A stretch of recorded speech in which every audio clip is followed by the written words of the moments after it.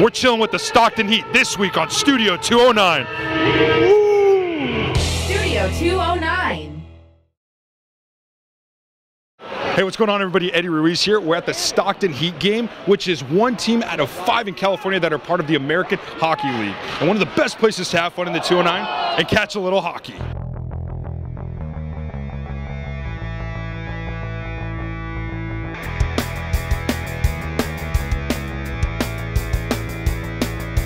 For those of you that didn't know this, the Stockton Heat are the affiliate of the Calgary Flames team, the NHL team. That's crazy, a lot of stuff's happening. And this is their fourth season in Stockton, which is really cool. Holy hell!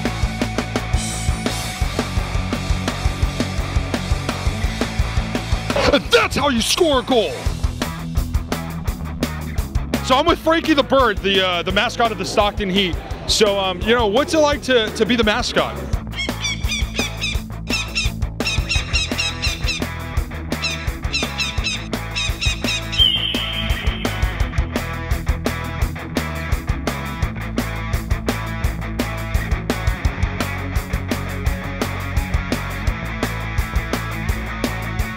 Let them fight. This is hockey, man. Let them fight.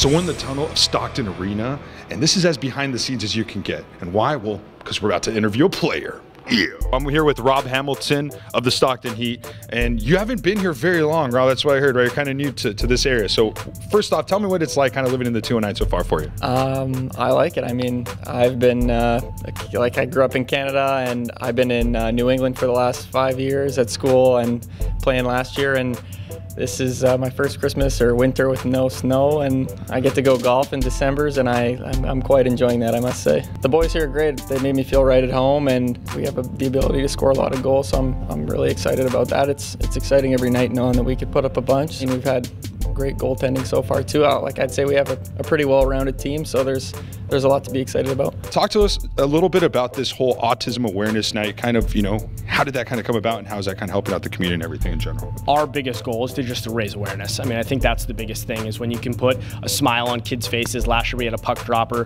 who uh, dropped the puck and it looked like it was, you know, the happiest moment of his young life. We know that one game at the arena isn't going to change everything, but at least it's a start and it raises awareness. And I know that's what the Carlos Vieira Foundation is looking, um, you know, leaning towards us for as well. And so it's good to be able to help them out. It's good to raise awareness, and uh, yeah, I mean it's a positive a positive thing. Uh, the entertainment and coming to hockey games is fun, so it's like I think it's a good night out.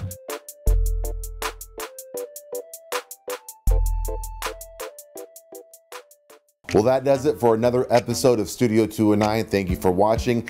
Eddie couldn't make it for this outro because he got sick. It turns out it was a little too cold in Stockton Arena for Eddie Ruiz. And you know what?